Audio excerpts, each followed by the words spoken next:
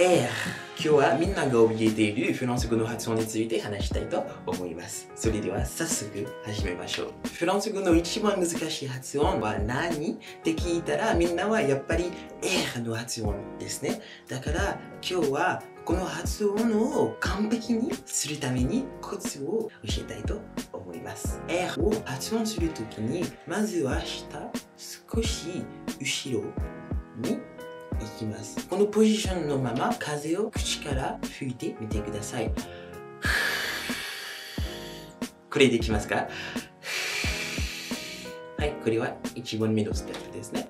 で、あとは2番目のステップなんですけれども、喉を窮屈して風が喉に当たるようにしてみてください。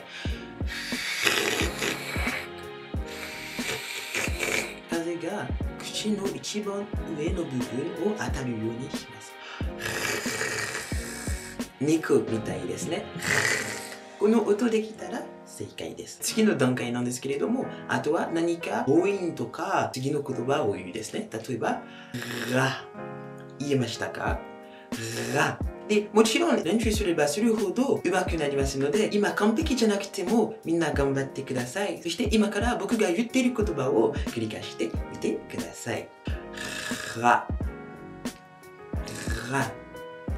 rue, rue, roux, roux, rein, rein,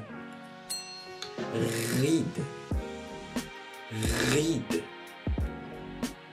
rectangle, rectangle, révision, révision. ruine, ruine. 言えましたか？